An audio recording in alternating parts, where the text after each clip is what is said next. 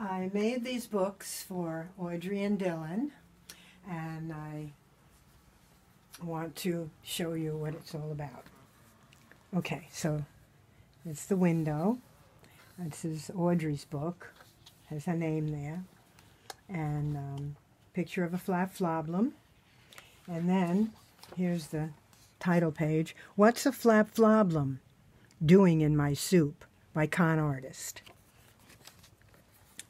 This book is dedicated to my grandchildren, Dylan and Audrey, who I pass on the good energy of Flap Floblem to always help them through problems. Got a problem? Flap Floblem. Love Grandma Con, 2018. Grandma Con said you have to eat your soup. I have a problem with eating soup. Look, Audrey, there's a flap floblem in your soup. What's a flap floblem, and what's it doing in my soup? Flap floblems are cute boy or girl characters who flap their arms and legs to solve problems, like this. They look like they are having so much fun. I want to be a flap floblem.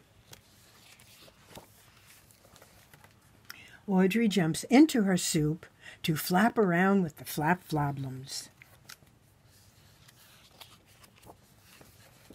She swirls. She swirls round and around as fast as she can, swallowing lots of soup.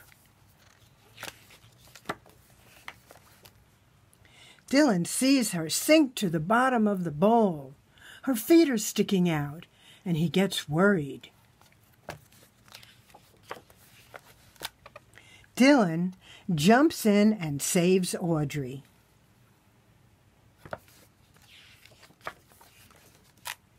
Grandma Con will be so happy that you ate your soup. It is fun to do the flap floblem.